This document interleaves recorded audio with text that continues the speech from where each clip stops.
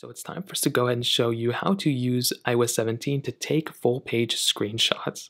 Now, there's a few things to keep in mind. One, not every single you know screenshot you take can be a full page screenshot. Sometimes they will be smaller ones, sometimes they won't be the full size. So just keep that in mind. That's always been something that you kind of have to keep in mind here. Now let's say we wanted to go and take a screenshot of this 9 to 5 Mac you know article. Or better yet, let's go into apple.com. If we wanted to take a full page screenshot, Safari is a great way to do it. So what we can do is we can start off by basically screenshotting uh, as we normally would. So go ahead and click on the volume up button and the power button on the side at the same time to take a screenshot.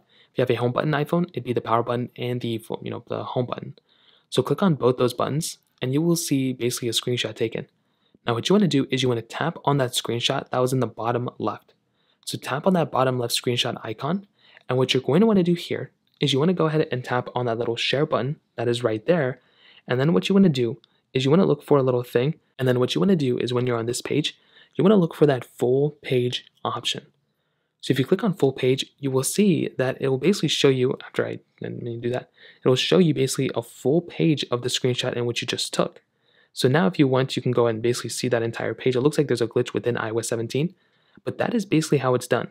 Now I'm going to go ahead and redo this, so we're going to try it one more time, and it looks like this is a glitch within iOS 17. But normally, you would take a screenshot like this, you would tap full page, and it would take a full page screenshot and you can basically save it as you normally would. Now, one other thing to keep in mind, like I said, not every application is suitable here. So you can go ahead and take a, a, screenshot like this, for example, and you can go and open up the screenshot, but you can see there's no full page option.